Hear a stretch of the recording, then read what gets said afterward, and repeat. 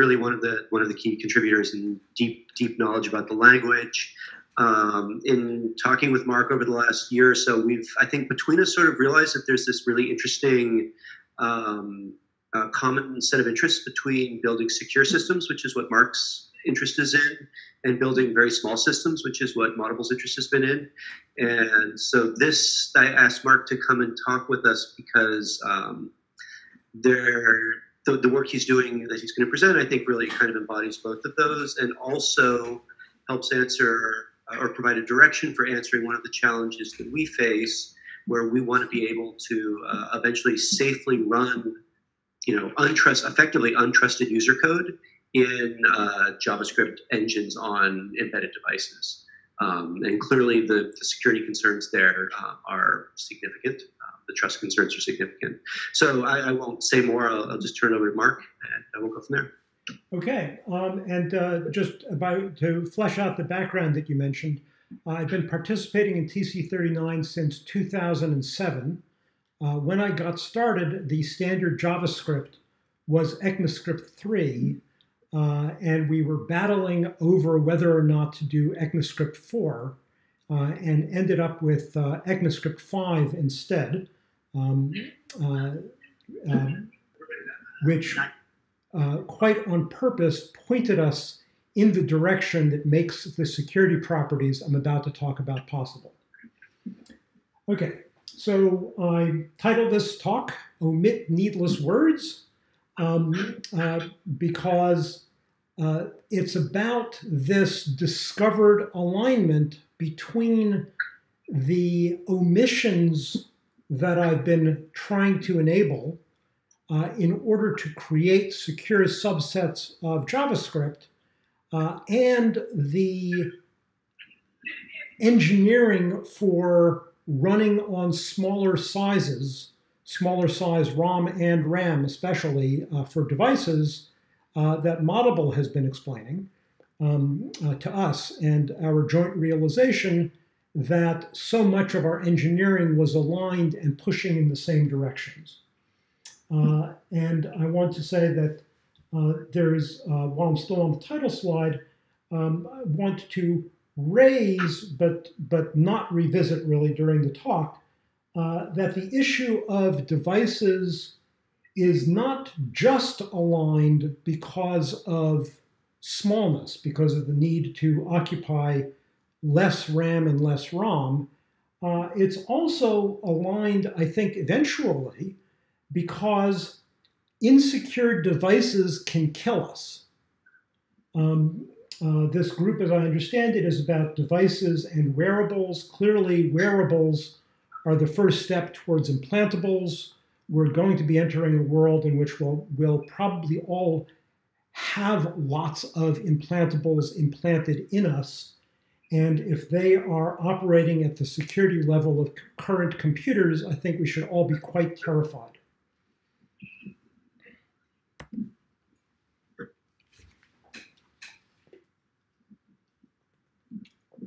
So the main methodology that I've been pursuing, I like to use the phrase, uh, don't add security, remove insecurity.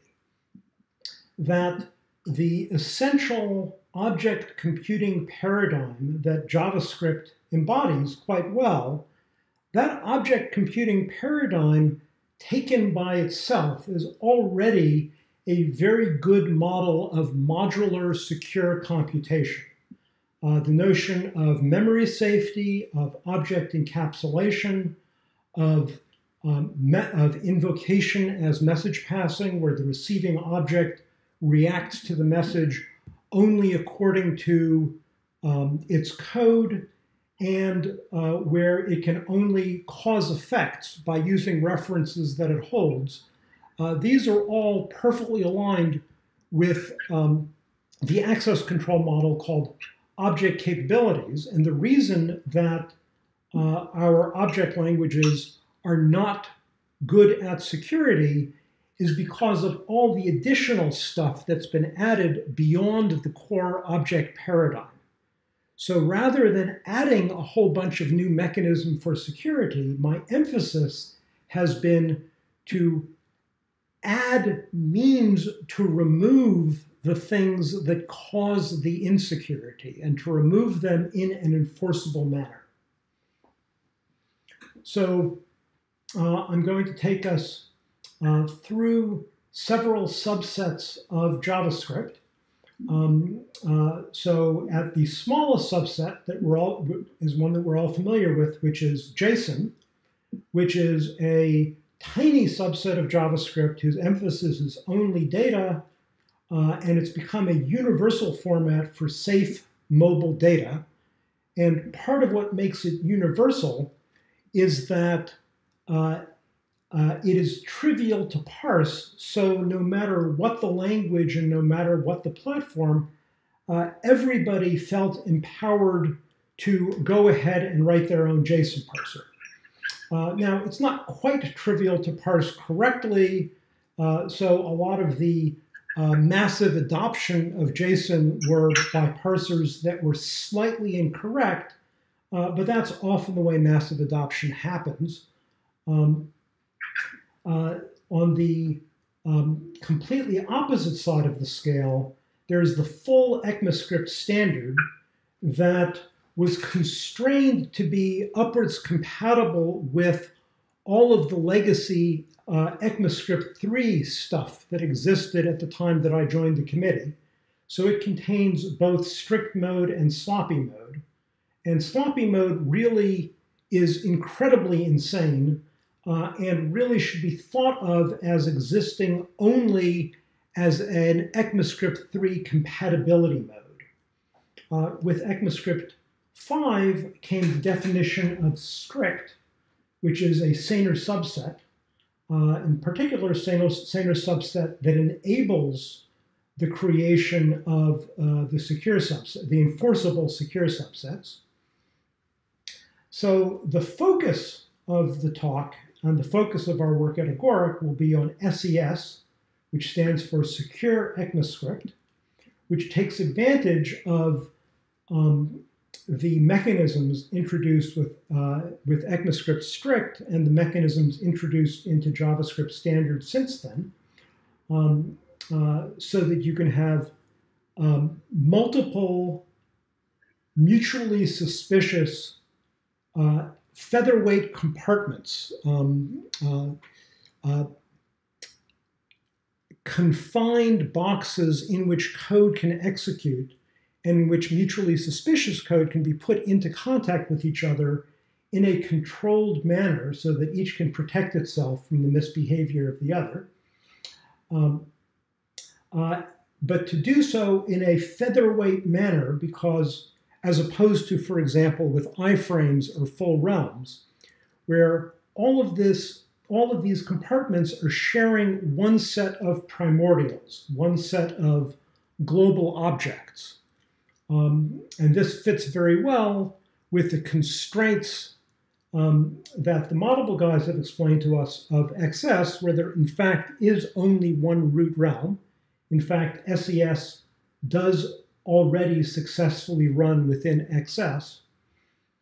And then uh, I'm going to explain a very small subset of SES named Jessie, which is intended to be um, to serve a role like JSON, but for universal safe mobile code, to where Jessie is a sufficiently small subset of SES that, in the same sense in which everyone felt empowered to write a JSON parser in whatever language, Jessie is a subset such that it becomes um, uh, straightforward to write a simple eval apply interpreter of Jessie, uh, no matter what your language and what your platform, so that Jessie becomes a format for sending uh, code with the security properties of SES, but easy to interpret on any target. Uh, the alignment with uh, this group uh, is that SES uh, um, uh, has a lot, SES has a lot of the benefits that the Moddable guys have, have had directly on their radar with regard to freezing all the primordials, freezing many objects, uh, reducing RAM footprint in that manner, but still with a ROM footprint uh, for the ECMAScript interpreter itself, which is essentially the whole language, and a, a ROM and RAM footprint that, that supports a lot of the mutability of the language semantics, much of which is unnecessary for writing good code.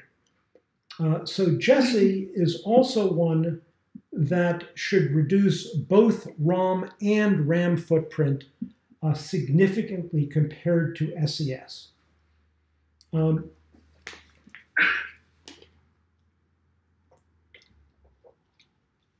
before going on, I want to introduce two new terms um, which will be relevant for understanding all of this mechanism. Um, XS right now has this notion of a deep freeze uh, expressed in a non-standard manner. Um, uh, SES introduces two concepts, uh, harden and pure, and they're very closely related to each other. They're sort of two separate concepts that together give you this notion um, uh, uh, that's like the notion of the XS deep freeze. Harden is for tamper proofing an AI, an, I'm sorry, an API surface. And it does it by recursive application of object.freeze, where object.freeze is not making something immutable, uh, it's uh, making properties non-configurable and non-writable, making the inheritance chain not mutable. But for example, when you do an object.freeze of a function that encapsulates mutable variables, uh, the object.freeze does not prevent the function from mutating those variables. Now, um, so, so the way harden works is it's, is it's a transitive application of freeze that does its transitivity by walking properties, by, um, by traversing uh, from property to property to all the things that are reachable just by property traversal without invoking any of the functions of the objects being traversed.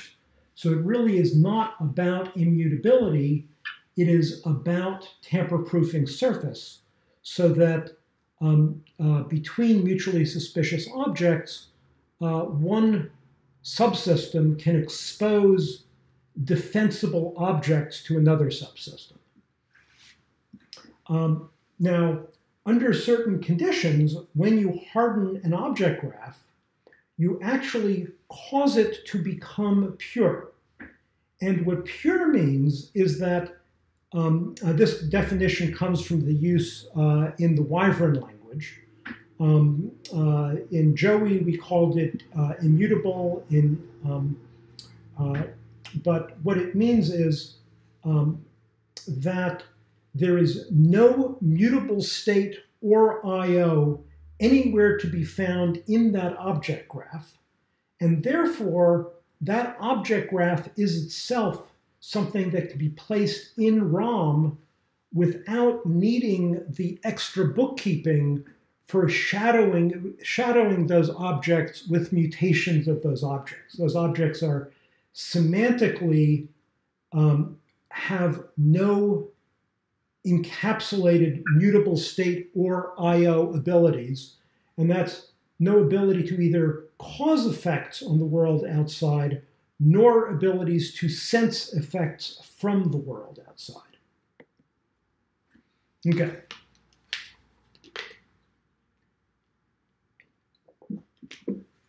So now to take you through uh, the subsets. Uh, the subsets nest um, the uh, subsetting that we, um, uh, uh, those of us who, understand the um, JavaScript uh, in some depth, uh, the subsetting that we know well is the difference between the full ECMAScript standard versus uh, the ECMAScript strict subset of the full ECMAScript standard. So the, the things shown uh, in this Venn diagram uh, between each contour, between the ECMAScript box and the ES strict box, are all of the things omitted from ECMAScript to get to ES strict. And so that will be following that graphical pattern throughout. And we're also using horizontal versus vertical. I don't know if you guys can see this based on where the um, uh, zoom control is, um, but the horizontal arrow at the top of the screen is labeled semantics, and the vertical arrow on the left side of the screen is labeled syntax. So we're going to be using horizontal and vertical in order to in order to notate the difference between uh, semantic subsetting and syntactic subsetting. So uh, uh, the full ECMAScript standard contains with, that's a syntactic element that is statically omitted uh, from ECMAScript 6, I'm sorry, from ECMAScript strict, uh, and the full ECMAScript standard contains the uh, crap on the right that I won't go into unless anybody has a question, but those are the elements from sloppy mode uh, that are omitted to make ECMAScript strict mode. Um, so zooming in, what are the things we omit from ECMAScript strict to make secure ECMAScript?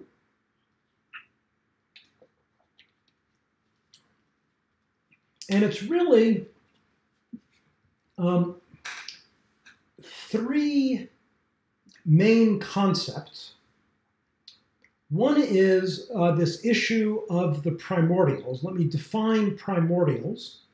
Um, uh, primordials are all of the objects that are mandated to exist before code starts running, uh, except for the global object for, for reasons that will become clear, we omit the global object itself from our definition of primordials, but object, array, uh, object.prototype, array.prototype, um, array.prototype.push, and all of the other method objects. So that whole object graph of objects that exist before code starts running, those are all primordials. And when um, uh, according to standard ECMAScript, including ECMAScript strict, those are all mutable. Those can all be mutated. And therefore, the XS engine, um, uh, when just running standard JavaScript, has to pay tremendous bookkeeping overhead to enable any of them to be mutated, even though almost all programs never mutate any primordials uh, in which case all of that bookkeeping uh, is essentially wasted space uh, and wasted time. The, the, to go through the extra bookkeeping every time you access a property uh, is also costly of runtime. Uh, uh, there is, for the realm as a whole, a single global object that contains, so that's the per realm global object at the bottom, and that contains both the ECMAScript standard uh, primordials, primordial globals like array and object and function and JSON, etc. But it also contains host provided globals like in the browser, um, uh, window and document, uh, an XML HTTP request, uh, in Node, um, uh, process and require, um, and then through require various modules that give access to the file system.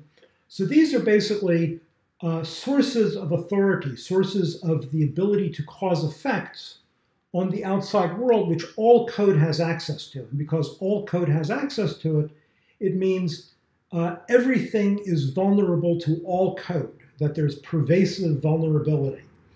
Um, uh, and therefore, every time you build an application uh, in JavaScript for, for any hosting environment, um, uh, and this includes, in the current status, um, uh, the embedded with XS.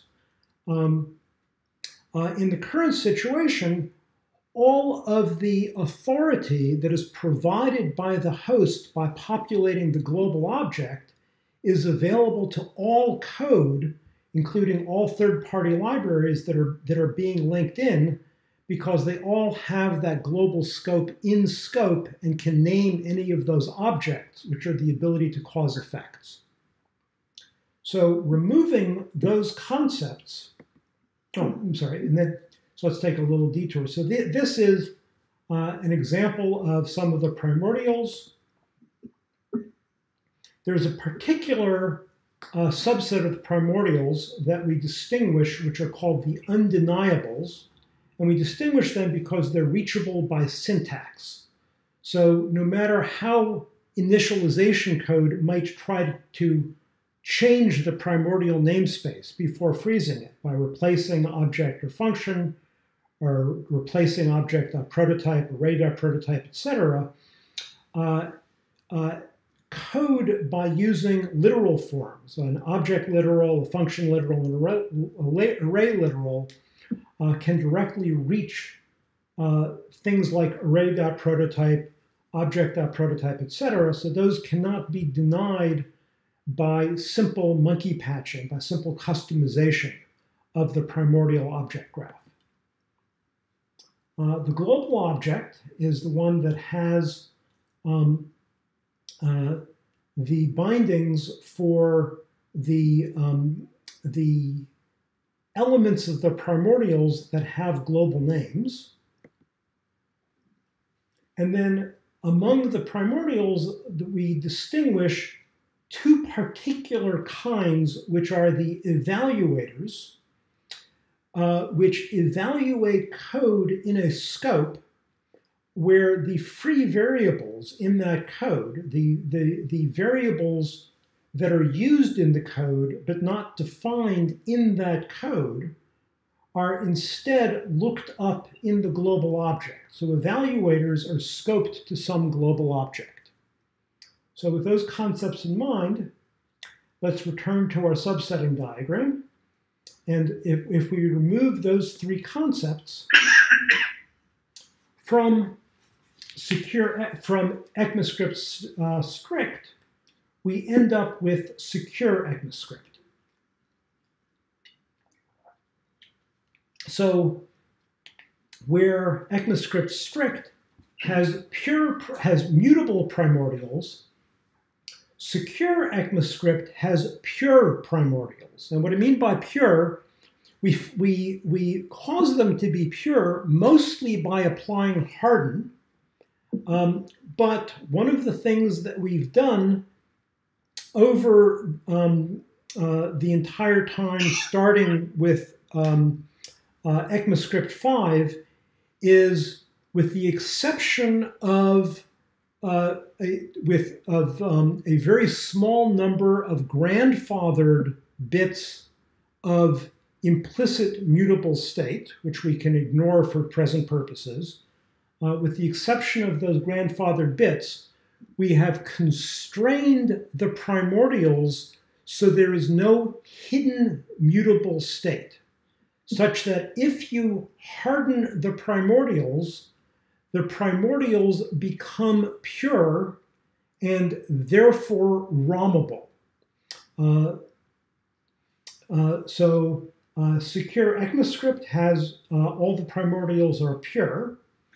And instead of having one global object for the realm as a whole, rather we, ha we have an ability to create compartments where each compartment has its own global object. Um, uh, so let me, uh, uh, by way of notation, uh, mention that the uh, I'm using underbar in the subsetting diagram for new concepts that this talk is introducing that are not concepts that are already present in ECMAScript itself. Um, another uh, concept that uh, we are we will be introducing with a separate proposal. It's a proposal that fits with SES. Um, it has a natural synergy with SES, but it's a proposal that stands on its own, um, uh, uh, which is defensible classes. Um, uh, that's going to be introduced with the at def decorator. Um, uh, uh, for those who don't know about decorators, I won't explain them here, but the point of a defensible class uh, is again a hardened API surface. Uh, a defensible class is like a normal class, except the constructor, the prototype, all the methods on the prototype are all frozen. Uh, so the transitive API surface of the constructor itself is hardened. And in addition, the instances made by the class are hardened. Uh, uh, that does not, uh, uh, for the class as a whole, if there's no uh, hidden static state, which is typical for classes, hardening the class makes the class pure. For the instances, um, uh, the instances typically do contain, or typically will contain, hidden in, per instance state. So hardening them um, tamper-proofs their API surface, but does not make them pure. So the instances typically will not be ROMable, but uh, the classes themselves will be.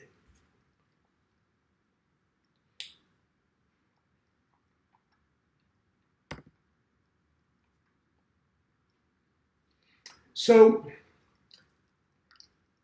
in SES, uh, we initially defined, um, defined this through the, the original Frozen Realms proposal, where the primordials start out frozen. And what we found was there is one kind of code which, follow, which does exist and is important and is con now considered to be uh, um, uh, code which is part of best practice, which are shims, shims that run ahead of time and customize the environment. Um, so uh, the way we currently define uh, S, I'm, I'm not going to distinguish SES and Frozen Realms. Uh, there's the Realms proposal, and then Frozen Realms and SES are now merging. Um, uh, but SES uh, is defined such that vetted shims, trusted shims, can be run ahead of time prior to freezing all of the primordials.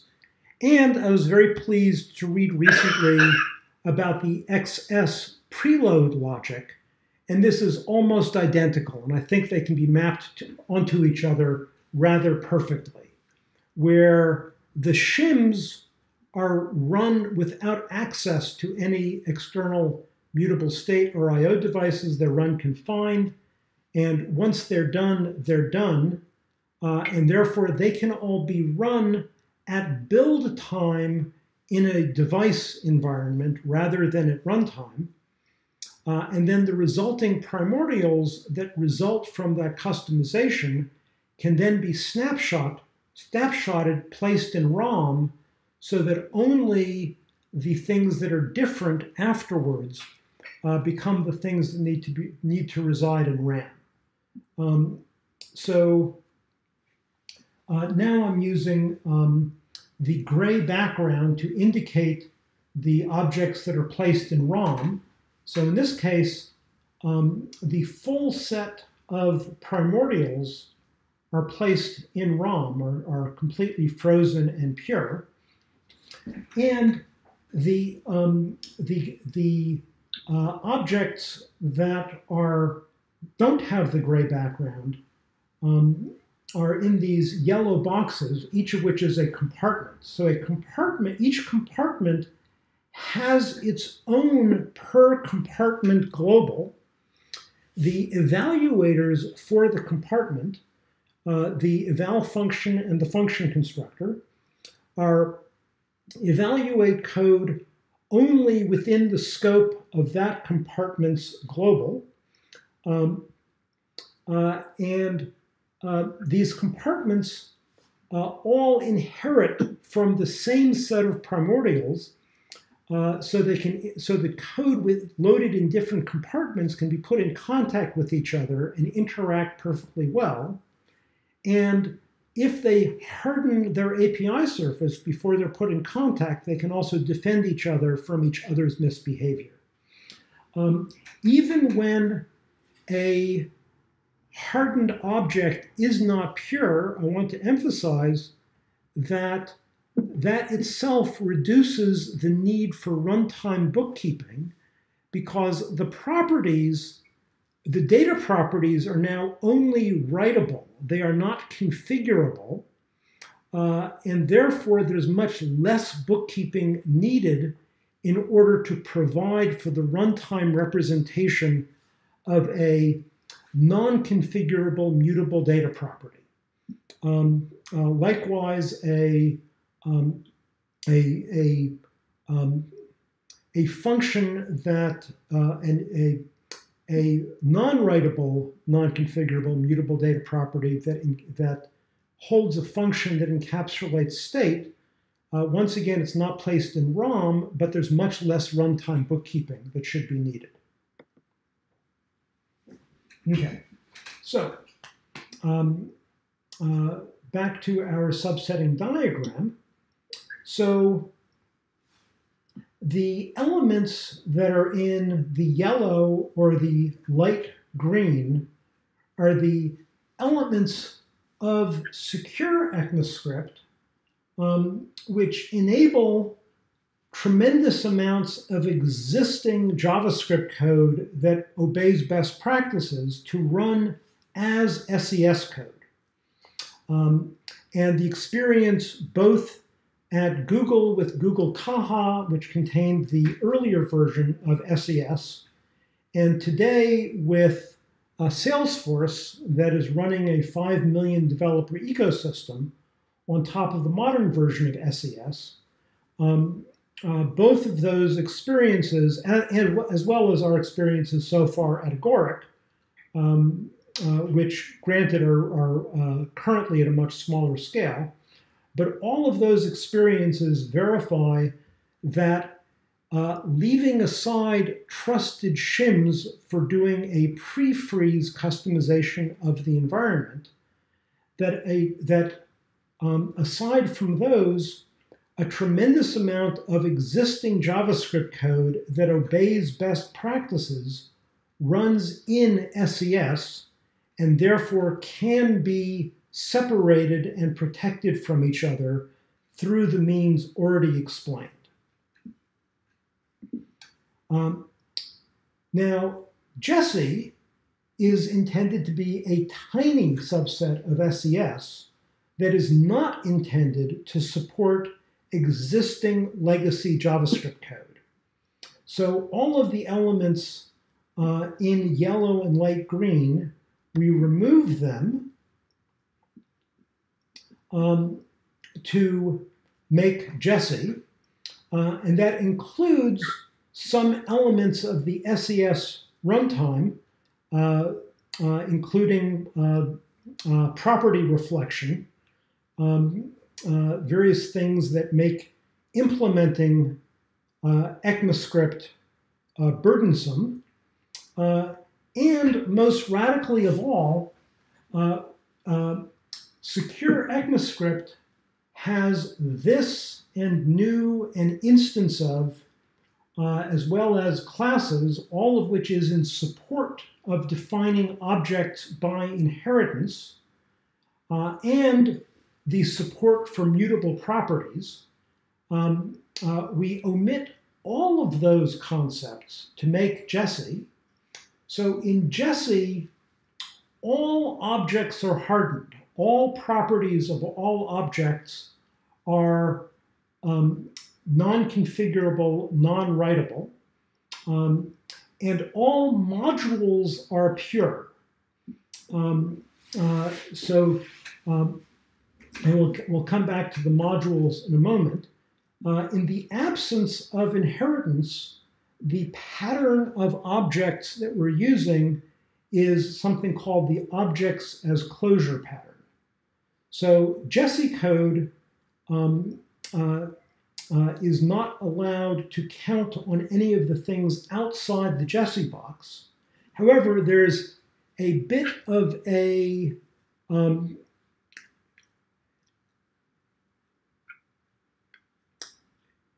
definitional oddity uh, in the definition of Jessie, which is Jessie is a sub is purposely a subset of SES. So we define the Jessie language such that a correct Jessie program must remain correct if run as an SES program within an SES system. And therefore, a correct Jessie program may not count on the existence of the, the full SES runtime, the elements that are outside the Jessie box, but neither may a correct Jessie program count on the absence of those things. And therefore, a defensive Jessie program must defend itself under the assumption that the adversary might be coded in SES, uh, but still um, under the assumption that the adversary is coded in no more than SES, because SES provides all the restrictions needed such that Jessie objects can protect themselves from SES objects. And therefore, Jessie code can run on incredibly tiny standalone Jessie interpreters, but they can also run uh, within a full SES environment without needing to make, without needing to introduce any mechanism to distinguish Jessie from SES. So, removing the syntactic elements of SES, most of which um, uh, um, were either in support of inheritance or, like switch fall through, was just a footgun, just uh, something that was accident prone um, uh, and something that, that good code should avoid anyway. Um, uh, what we're left with is uh, uh, Jessie contains JSON, and therefore it contains string strings and uh, objects and arrays, null, true, and false, numeric literals. Uh, beyond JSON, um, it contains, as I mentioned, pure, pure modules with import and export that we'll come back to in a moment. Um, uh, it contains most of the operators, and pointedly, it does not contain double equals, and uh, but it does contain triple equals because once again, double equals is just just makes code um, uh, unreliable and should never be used by code following best practices. Um, uh, strangely, Jessie omits proxy itself because proxy is hard to implement, but proxy and weak map were introduced into JavaScript uh, in order to support the creation of membranes. So uh, Jessie, while omitting proxy, uh, will directly have, as part of its available runtime, a membrane library, because that is very supportive of uh, security patterns. Uh, and in a standalone Jessie environment, where all objects are hardened, the subset of the, member, of the membrane concepts which are meaningful in a standalone Jessie environment are easy to implement. Uh, so all of these things uh, um, uh, should admit to a fairly straightforward eval apply interpreter uh, as um, uh, that can be uh, essentially um, um, ported to many conventional um, uh, imperative, memory safe object languages by writing a simple eval apply interpreter. And um, uh, Michael Fig is collaborating with us and has created a project called Jessica, which is a self rehosting meta interpreter of Jessie in Jessie. And he's already partway through a uh, using it to do a rehosting of Jessie into C, um, uh, but without yet having done the C runtime elements um, needed to uh, support Jessie objects uh, within a C system. Um, uh, but that gives, I think that gives a um, uh, very good uh, sense of, um, uh, if you take a look at what he's doing, gives a very good sense of how tiny the subset of XS would need to be in order to create an XS that supported only Jessie.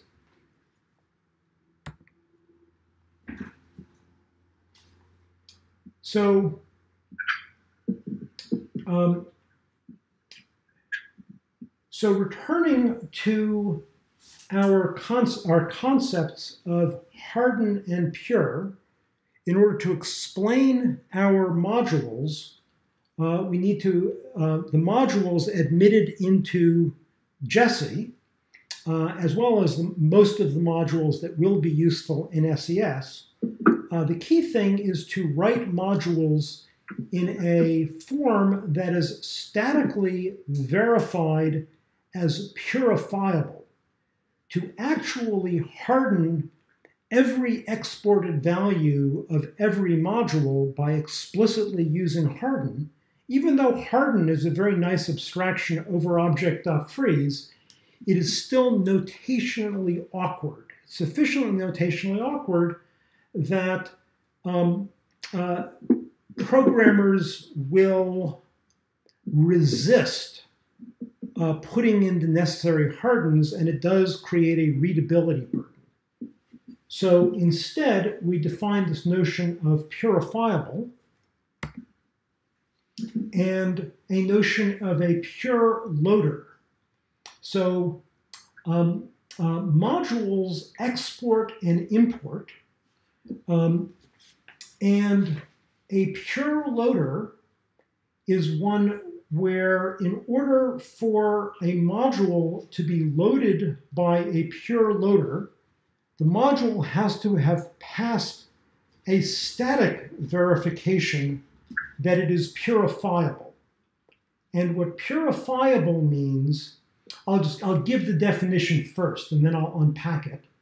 What purifiable means is under the assumption that everything the module imports is pure and that everything the module exports is hardened by the loader, that the consequence is that everything the module exports is actually pure, and therefore any other uh, purifiable module importing from this module is importing only pure values. So uh, now I'll unpack that. Uh, so export function make point. Make point is just a function um, as interpreted by a normal ECMAScript um, module system and module loader. Uh, make point is not hardened, it is mutable, and therefore it is not ROMable.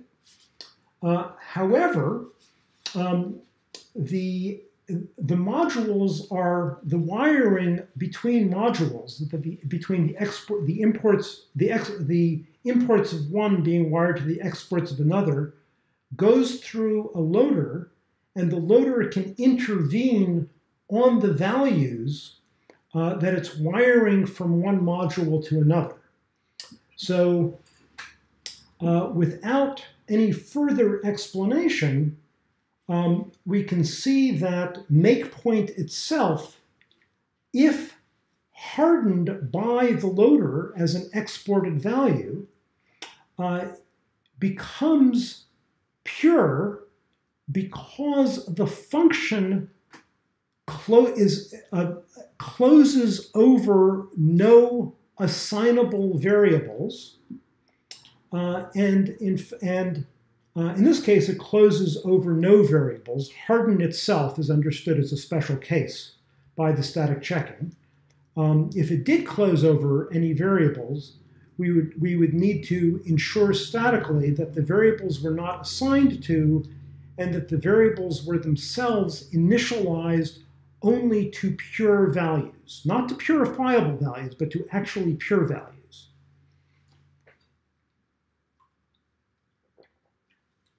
Now,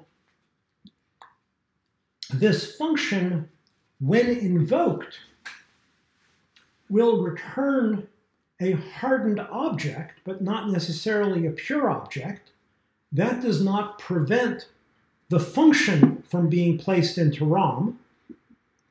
Uh, now, at the bottom, um, we import the value xs, xx, from a foo, a foo module, since the assumption is that we're being loaded through a pure loader that enforces that it's only loading purifiable modules and it hardens all of their exports, we can assume here uh, that XS, XX itself is a pure value.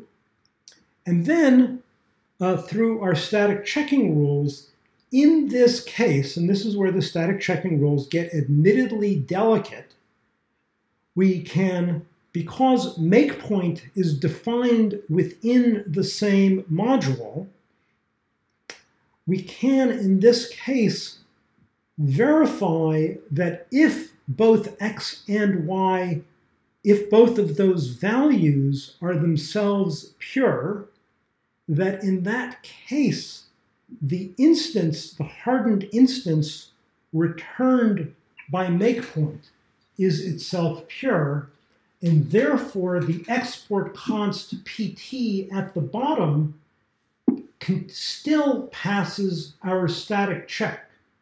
That the, that point instance is um, is purifiable.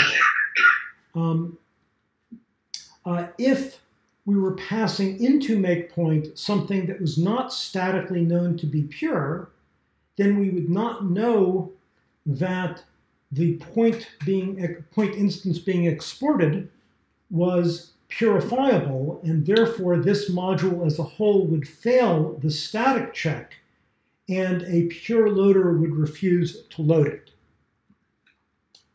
And uh, I think that is uh, the end of my prepared talk. There's lots and lots of concepts here, um, and I'm now prepared for uh, questions and discussion.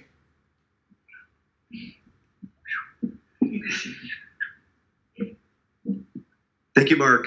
That was um, a lot. Oh, it was great. I mean, very. I, have um, it's good. It's it's the third or fourth time I've been through this material in various forms, and I'm starting to starting to feel comfortable with it. Um, uh, it's it's lot. We should open it for questions. You and I have had a chance to discuss this stuff before, but other other folks may have something to say. Uh, are there any? Sorry. I think one of the things I've, I've liked about the work that I've witnessed the last two days, and just as I read up on your uh, October minutes, I think what's made this group so effective is that where there's a, a, an existing industry metaphor paradigm to that can be applied, that is easily understood, universally understood, both in context and syntax, to adopt it. And um, my question is just: is how consistent is this? Uh, uh, in approach, and is there a competing approach that uh, you would consider um, for security? Um, so there are a lot of claims out there. Um, the I have enough academic papers and um, uh, various talks that are recorded and up on the web, uh, and lots of other material that I can cite, that I feel comfortable now simply making the strong claim that um, there is no competing approach to the approach taken here that provides anything like the level of security that this provides. Now, this is not uniquely the only, so by the approach, what I mean is the object capability approach. Uh, so, so in particular, uh, the transition from ECMAScript strict to SES, um, that there are many other approaches to security that have tremendous things to say to them. Uh, now, some of those can be combined with object capabilities, uh, and SES is not uniquely the only way to get from ES strict to object capabilities. Uh, so, with regard to a lot of the particular design decisions uh, to get from ES strict to object capabilities, um, uh, there's a design space there. Uh, and we made a bunch of choices. I am not aware of anything out there that is trying to provide object capabilities for modern ECMAScript strict, uh, which is a competitor. Uh, the key phrase in there was modern. Um, uh, the old SES in Google Caja was defined uh, mostly as a object capability subset of ECMAScript 5 and has led to other work. Uh, and both it and some of that other work uh, uh, does show somewhat other ways to get from ECMAScript strict to SES, but nobody has attempted to reproduce any of those for modern JavaScript. Um, so that was a long way of saying, uh, no, there's realistically nothing competitive with this. And we are pursuing this through the Realms proposal and then uh, following it uh, with the SES proposal, which is what Frozen Realms is mutating into. So that's all standards track. Uh, separately, we will be proposing Harden as, um, uh, as a standalone uh, proposal that can be used both inside and outside of SES, uh, as well as defensible classes as a standards track proposal. And, and this follows a long tradition. Most of the elements uh, that we've used to get to where we are, uh, including promises and proxies and, and uh, weak maps and et cetera, et cetera, uh, were already introduced standards track in order to enable the building of SES. Mark, oh, sorry. Uh, I, I, think this is a really great, uh, a great thing you've got there, and I can see lots of applications of this. Um, I'm, I've got far too many questions to ask in a few minutes, but probably the, the highest level question would be, uh, how does this interact with uh, so, so, what you've got here seems to be protecting some JavaScript code from, or some not quite JavaScript code from invading another piece of code within the same realm. And I'm wondering how this interacts with uh, the case where you've got some code uh, that you want to access, you want to have, you want to enable it to access particular I/O devices, uh, say through an import or something like that, and then another piece of code that you want to either enable with different I/O access, or you want to restrict I/O access. Uh, so the, the, the way you've described it, it seems like you're restricting access to globals, but what about imports? Um, and okay. especially in the case of I/O imports, that would be uh, not hardenable by, by definition, I think. Okay.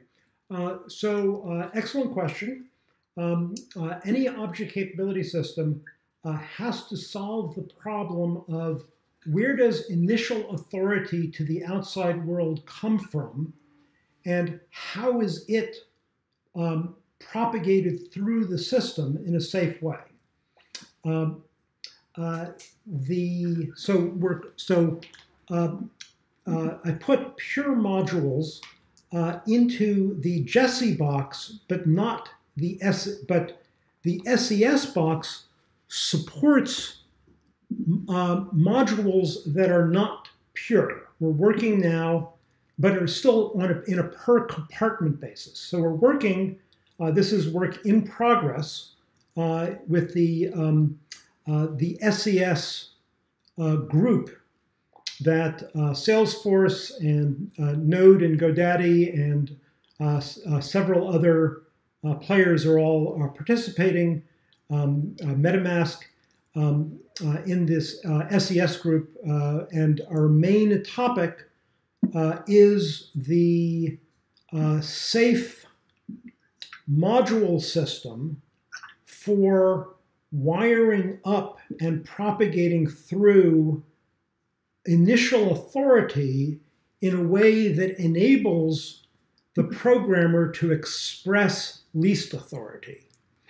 Uh, so there's this famous recent incident um, uh, called the event stream incident, where a module known as event stream, a, a package, an NPM package known, known as event stream, um, uh, was changed uh, by the person who inherited its maintenance, uh, was changed to be malicious in sneaky ways in order to steal the Bitcoin of an application that was linking in that module.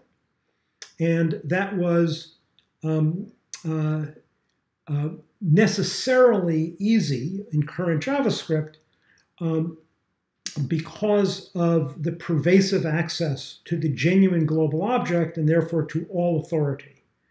Uh, this is our test case um, for designing a system that can support legacy code and provide individual modules and individual packages with least authority. So the way we do that is partially through a manifest um, um, that uh, says how different uh, packages can be wired to each other, which is basically a constraint on the import graph, as well as a partial redirection of that import graph. So very concretely, um, uh, if module foo import does a import or a require, I'm not going to distinguish import and require because we're looking at, at node code right now. So things that are expressed that we that uh, um, would be expressed in import are currently expressed as requires. Um, uh, so something that requires FS, uh, the manifest can redirect that through an attenuating module that imports the real FS and exports an attenuation of that FS that presents the same API but gives access to only a subset of the files. Um, likewise, uh, the per compartment globals, you can redirect the definition of the values of global variables uh, through attenuating modules, uh, as stated by the manifest. So the manifest can work with legacy code, but the basic idea is that each compartment becomes a separate protection domain uh, that is populated with the least authority needed by the package loaded into that compartment.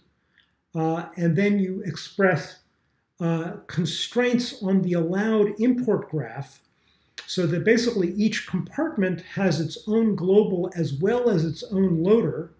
And the loaders of the compartments know each other and enforce the constraints, as well as this rewiring through attenuators. Um, and the result is that uh, other than writing new attenuating modules and writing this wiring manifest, most of the rest of the code uh, can be legacy code. In addition, um, uh, um, uh, Bradley Meck of um, uh, GoDaddy and Node is working on a tofu tool trusted on first use to automatically generate the information needed to generate the initial manifest and attenuating modules so that you can start off with attenuations that provide the packages with what the authority that they currently seem to need, but no more, which, in the case of the event stream incident, uh, would have caught the uh, upgrade, uh, the malicious upgrade of the module to use authority that it didn't previously need to use and was not previously using. Thanks. That was that was very clear. Yeah, and uh, we will be making the the um, uh, uh, I can I can forward to this group the current draft of the safe module proposal. Uh, but keep in mind that it is rough, and and this working group is continuing to work on it. Well, one reason I'm interested in this is this is whole evolving larger uh, JavaScript ecosystem with browsers, Node, everything. But uh, what other efforts outside this ecosystem are there for this kind of portable, safe code? And what other you know environments are there? Uh, I'm sorry. Version of the comp- competition question. Uh, so uh, we're talking to. Uh, so um, let's see. So uh, Salesforce is currently using it in the browser. Um, uh, uh, uh Agoric, my company, uh, is as well as MetaMask, um, who are um, participating in the working group, are both looking uh, to use this in the blockchain ecosystem. in the case of Agoric, we're, use, we're, we're looking at it in a node like manner to run on the server side on top of blockchains themselves.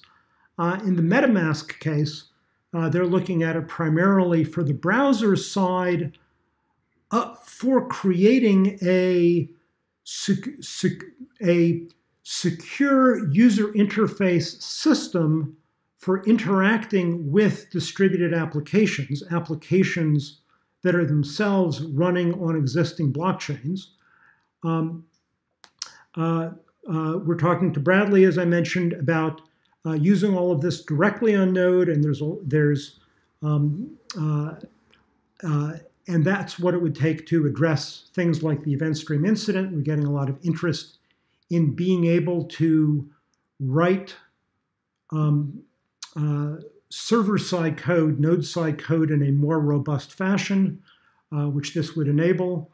Uh, and we're talking to Brave about a multi realm manner that, in a more radical, um, in a more extreme fashion, enables legacy code to be secured uh, by combining the SES mechanisms with the full realm mechanisms, where you create multiple confined realms which are not frozen but which are only given least authority, and put between them a security enforcing code that is itself created in an SES realm and therefore can protect itself from malicious code on both sides. So it allows the mutually suspicious code to be full, non defensive legacy code, but interacting with each, with each other only through new defensive SES code. Um, Okay, I, no, I appreciate this. I think that there's a long discussion on portable code and things I'm interested in. But my question is other languages and other environments. Oh, you oh. Know, that are trying this kind of thing. Okay, um, so non JavaScript. Non JavaScript. Okay. Um,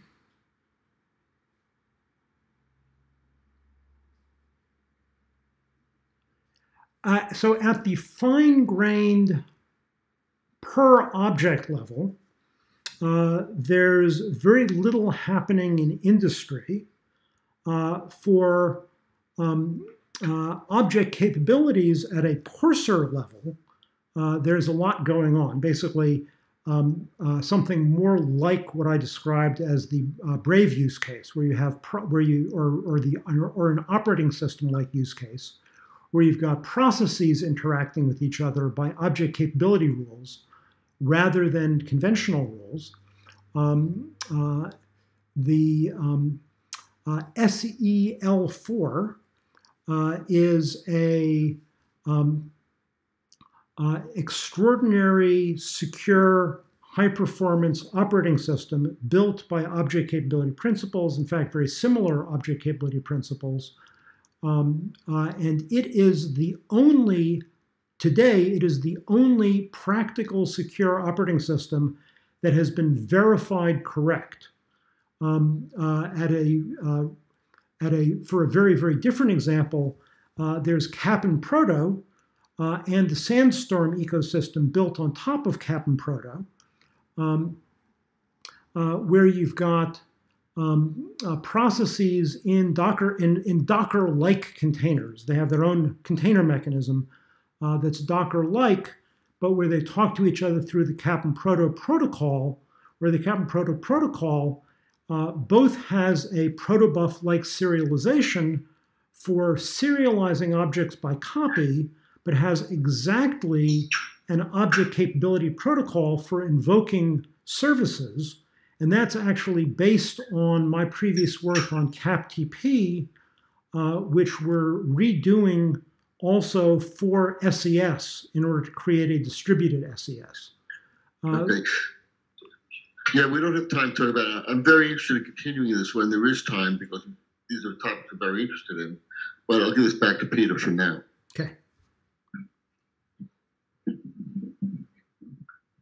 So, uh, Mark, I, um, I, I wanted to ask maybe a, a, slightly practical question out of all this. I was, um, I was interested, particularly by your comment that um, you you have some experience with SES in the, in the wild using through Salesforce. And if I recall well, what you said is that um, you characterized it as the majority of kind of well-written code um, not not the not the majority. And if I uh, I might I might have I might have said that or implied that. But let me backtrack from that. Uh, the uh, it's a tremendous amount of existing code written to recognize best practices. And when I say recognize best practices, I'm I'm speaking of already recognized rather than something we're proposing to be new best practices. So the primary uh, best practice, uh, it, well, primary two best practices is all of your code should be strict, and you should not monkey patch primordials.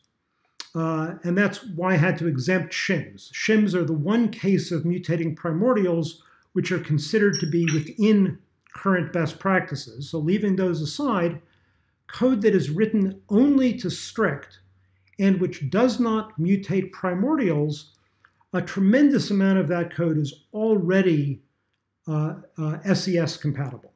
And it might, in fact, be the majority. I'm just don't have uh, any measurements to justify making a claim that it's a majority.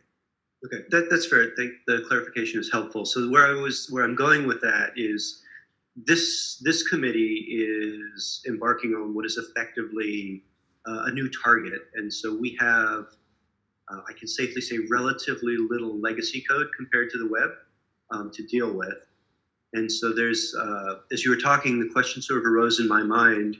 If we optimistically assume that SES exists, you know, down the road as part of the standard, um, should we as a group be thinking, gee, maybe SES should be the default runtime model that we target for devices. Um, and you did. You did a wonderful job in your opening slide of adding the word implantable to scare us all to death about uh, how serious the work is. Um, do you do you think that SES is sort of an appropriate, given this? I mean, still somewhat nebulous or not fully defined, not nebulous. Um, do you think that's something we should be looking at or considering as a reasonable baseline target for delivery of the work that we're doing? I do. I do. I think for a new platform where you're not burdened with a tremendous amount of legacy code, uh, that everything that's in JavaScript that's outside of SES, I think for a new platform is useless. Um, uh, and I'll, I'll, I'll, make that statement unqualified. Um, uh, the um, uh, in addition, uh, going back to the terror of implantables, let me mention another design point of Jessie, for which we're working on it, but it's still too early to make strong claims. is uh, um, uh, Alan Schmitt on the committee from J, the JS CERT project in INRIA uh, has done this extraordinary, well, the whole JS CERT project um, has done this extraordinary work doing a mechanized formal model of uh, JavaScript as a whole. Um, uh, SES includes most of JavaScript, so a mechanized formal specification of SES as a whole would be somewhat smaller, but would still be most of the size of the mechanized specification of uh, JavaScript. Uh, and even though he has a mechanized specification, because of the complexity of JavaScript, it has to be a low enough level specification that it's not very useful for proving security properties of realistic code written in JavaScript or SES. One of our design targets, a very important design target, especially for us in the blockchain world, is we intend to write all of our smart contracts in Jessie and to recommend to our users that they that they write their smart contracts in Jessie, even though we provide them all of S, all of SES, uh, so that we can support formal analysis tools that can verify, give you a static verification of interesting security properties of code written in Jessie.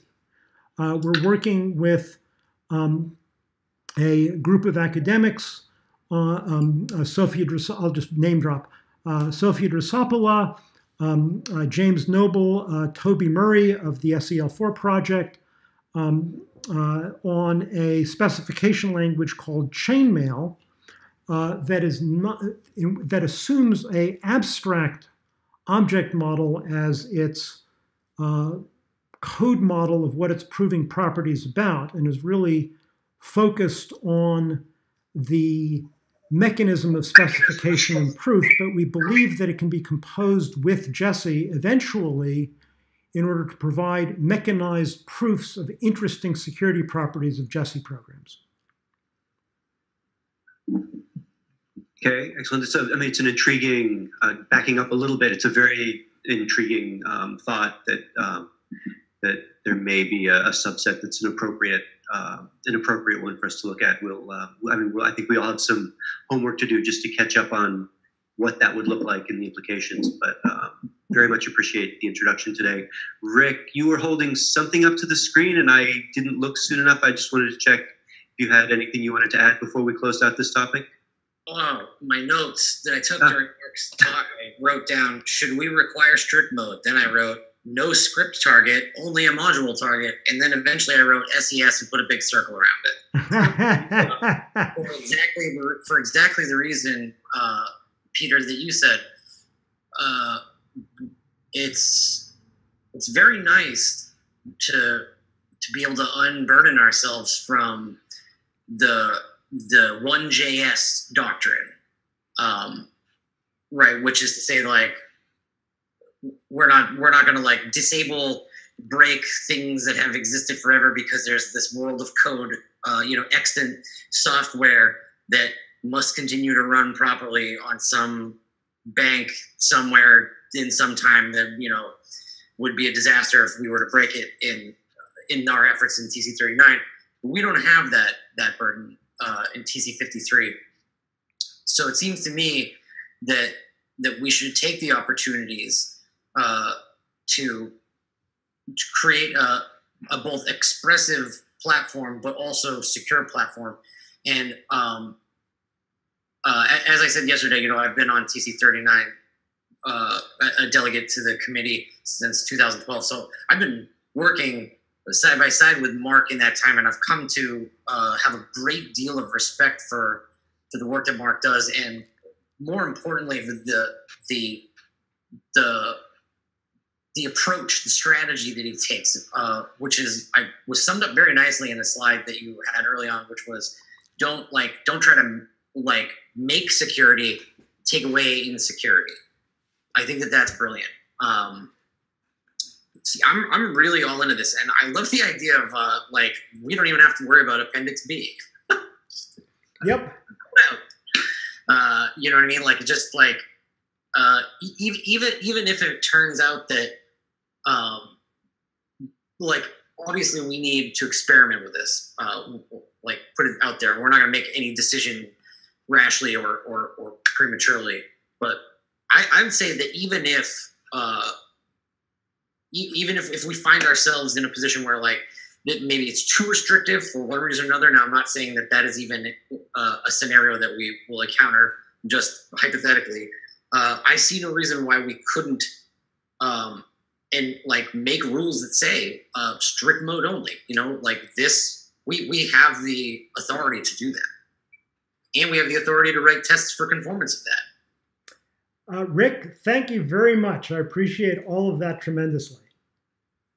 You're welcome. And thank you so much for uh, for doing this this talk today. This is uh, fantastic. I, I actually hadn't seen this one yet. This one's new. Can I also ask you a question? So this is Ishtan. Um, uh, this Jessie, is, is it already also at TC39 or not yet, or it will never come? Uh, uh, it is not yet um, uh, stated in a, in a manner appropriate for bringing as a proposal uh, but I would love to bring it as a proposal. Uh, and uh, uh with regard to for Jessie itself, whether it should go to TC39 or TC53 or somewhere else, uh, I don't have a strong opinion on that. I'm, I'm, uh, so your advice is solicited. but the natural thing for me, just based on my history, would be to bring Jessie as a proposal to TC39. Uh, but you, you said that it is not compatible with the rest of the of the onion, yeah, which is outside. It is not uh, compatible with ex- with existing JavaScript code. It is a subset of the outer parts of the onion. So ah, anything okay. so anything written in Jessie will run as SES, and any correct Jessie program by the by the peculiar definition of correct Jessie will still run correctly when run as an SES program. Uh, so uh, we have that direction of compatibility, but there's essentially zero existing JavaScript code which will run as a Jessie program. Uh, okay. So then I have a last question, and then, then probably also the time is over. So, so practically, you are uh, restricting yourself as you go more inside of the of the onion. Yes. So is there any any any um, any any uh, issue regarding performance or any other restriction that, for instance, when you have a code with Jessie and in comparison with a with, with a code which is outside in the in the onion, but it is not so secure. So uh, the, the, the, I'm sorry. Did somebody else have some? Was somebody else saying something? No. Okay. Um, so uh, we're currently using the Realm shim both at Agoric uh, and at uh, Salesforce uh, and at uh, MetaMask. Um, the for the shim, that we're encountering two sources of overhead. one is that the mechanism we're using to intercept global scope references so that we can do a per compartment global object is a with on a proxy. And we're doing a mechanism to make that efficient in the typical case. But when uh, uh, there's this optimization mechanism, but when a global variable reference misses the optimization, misses essentially the optimizing cache, which happens quite often, uh, there's a substantial overhead of going through the proxy mechanism. Uh, with SES directly supported by the platform rather than as a shim, that overhead goes away. Um, uh, the other source of overhead is the override mistake. Um, uh, and uh, that is irritating. It is not so irritating as to be a uh, impediment to practical use. Um, uh, Salesforce is, is in deployment uh, with paying the both of these costs, uh, and they're not finding either of these costs to be an impediment to practical use. There's a proposal be before the TC39 committee uh, to fix the override mistake in the standard. And if that happens, then that source of overhead goes away. Uh, however, it's not known how web compatible that is. If in TC53 we can somehow we can somehow allow ourselves to run SES with the override mistake fixed, then again that should be a, that should have no cause of overhead. Um, so uh, taking care of those two, there's one remaining source of overhead that's worth calling out explicitly, which is the objects as closure pattern for expressing objects has an allocation cost and therefore a RAM cost, so it's quite relevant to this committee, where you have to uh, allocate a closure per method per instance. Now, my E language and a previous proposal that I had made to the ECMAScript committee back in the transition days from ECMAScript 5 to ECMAScript 6 shows that it is possible to implement objects as closure without that space overhead, but it requires um, uh, some re-engineering of the object runtime. With current object runtimes, you have the allocation cost of a method of, of, a, of allocating a closure per method per instance. That's significant RAM. It is not significant runtime for object for object abstractions that are written well, and what, but that's a weighted definition of well. What I mean by written well is object abstractions that don't have a tremendous number of methods in the equivalent of a single class, but rather have lots of small classes, each of which have, have small numbers of methods.